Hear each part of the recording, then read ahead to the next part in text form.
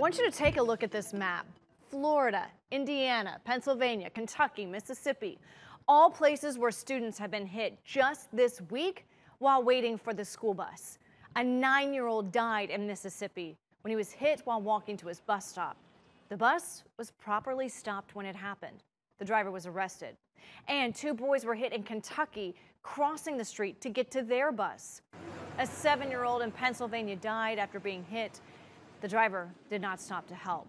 Plus, we've heard this story. Three siblings in Indiana killed when they were hit by a pickup truck. The school has decided to move that bus stop now following their deaths. And most recently, today, five children, two adults hit by a car while waiting for the bus stop in Tampa.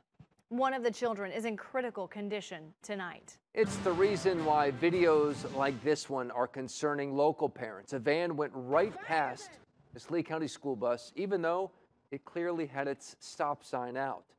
NBC2's Joanna Boris talked to some worried parents in Cape Coral.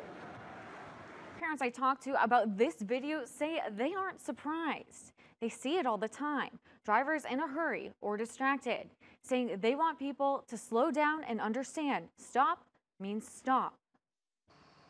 Stop. It's a plain, simple red light, just stop.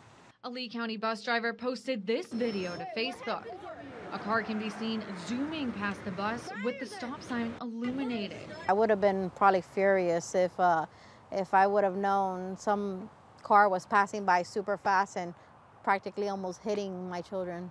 We talked to the driver off camera who says it happens all the time, and parents agree. I have to have them away from the road so dumb drivers, idiot drivers, I'm sorry, not paying attention during the day.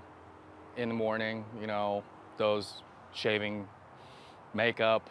According to the district last year, on one day, Lee County buses were passed illegally 637 times. That's terrible because, you know, children's lives are at stake. The driver sent the video to the Cape Coral Police Department, but police say unless an officer sees the traffic violation themselves, they can't do anything. I think that's not not right because they should be in trouble basically for what they did. So parents are pleading with drivers. Slow down, respect, you know, people, respect life.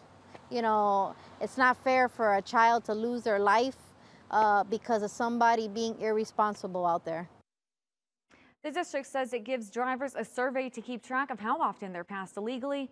Most drivers report getting passed illegally at least once a day.